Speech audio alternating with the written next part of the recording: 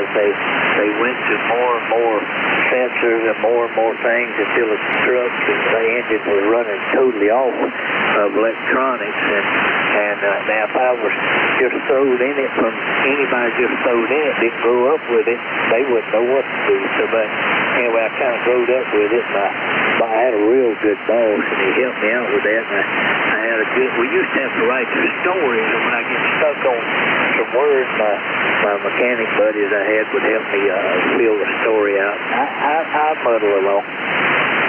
Yeah. And, and when I was about 20 years old, I thought, well, I was going to get me a ham license. And I went down there, they, and at the Mobile College over here, they give us free a lesson on how to be a ham operator. And you had to had to go in there and you had to build at that time uh, uh, some kind of a receiver. And, Okay, very good. W7GS. My name's Glenn. I'm in Washington, North Carolina. USCK.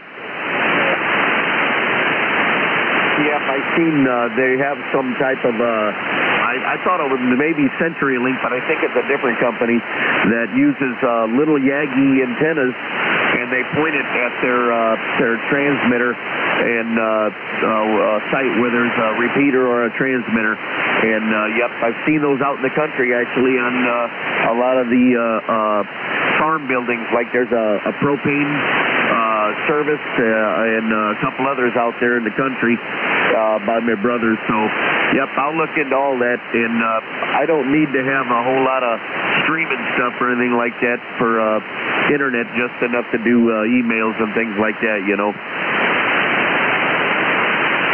I would think the local service would probably be good enough. Maybe it's a little slow, but at least it's there, you know? Yeah, but out in the country, Claude, there's uh, there's no uh, cable. They don't have cable TV or nothing out there because it's too far out. yeah, you're using the phone line. That's what I'm using, the phone lines here, and mine's fast enough for me. Right, right, okay, yep. That's I think that's what CenturyLink is. My brother uh, uh, Richard over in Fenton had CenturyLink uh, for a long time, and then uh, eventually he got rid of it. I don't know why, but uh, yeah, you're right. That's that who that's who does that. So that is an option.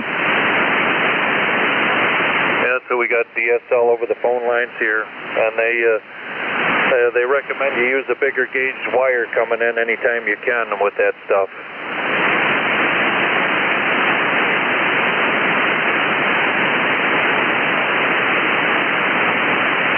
Is that what the name of their service is? CenturyLink.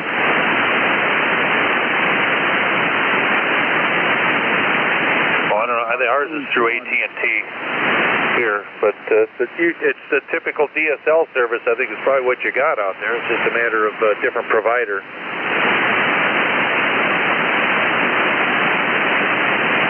Yeah, I'm starting to lose you, Claude. Uh, anyway, I, I think uh, CenturyLink is uh, one of the ones that do uh, does the uh, the landline type uh, phone line stuff.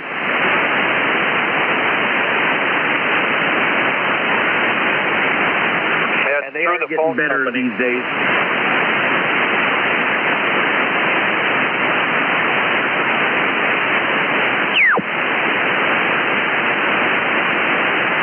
Go ahead, Al. I guess he's not hearing me. N9IMH, W9CL. Yeah, I think he said he's getting a little bit uh, light there right now on ground waves. So I'm trying to find that picture of that uh, one I had. I may have deleted it. And uh, hey, miss, you remember I had a cowboy hat on? I was uh, standing out there on the side of the house during the and. Uh, I think I had it on a push pole, and. Uh, course, I don't have didn't have the proper meter to just uh, run it down and you know see. So I'd go back in the house and uh, and work it that way. I have a picture of that farmhouse somewhere, and uh, you could see it there. Oh yeah, here it is. This is where. This, yeah, this is it. I found it. I got a chicken on my shoulder. Thank God. Oh. Yep. I'll out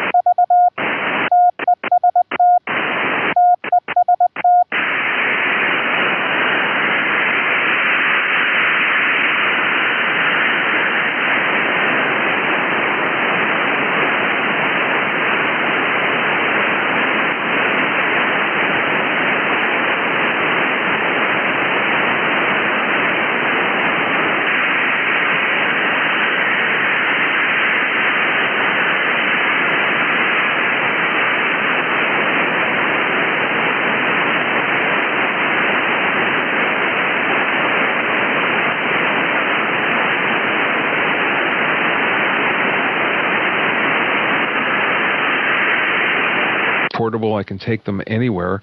But everything is also augmented by a number of acoustic panels that are homemade. I think there's, uh, let's see, two, four, six, eight of them. So there's quite a lot of dampening.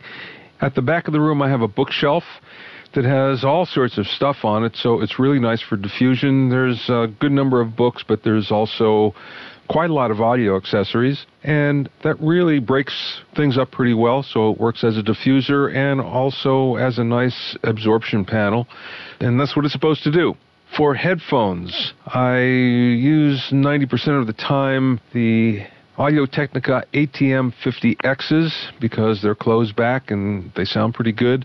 But I like the Sennheiser HD 650s, which if I'm checking a mix, that's what I'll use. I can't use them normally because they're open back and then it makes the recording sound funny if I'm doing a voiceover or doing a podcast. So the ATM 50Xs get most of the work. So, how do I get audio into this? So, generally speaking, everything comes from Skype. And this also includes phone. If I talk to somebody via phone, I call them via Skype. The reason why it's easy for me to get Skype into the Pro Tools session that I have open, not quite super easy, but, but easy enough now that I figured it out. And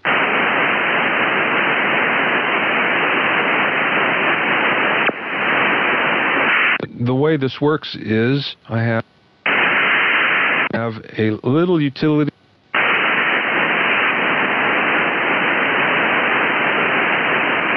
called Soundflower or in between that basically routes the audio from Skype from any app into any other app. It's an old utility. It's kind of flaky. Sometimes it doesn't boot up. And it took me a while to actually make it work because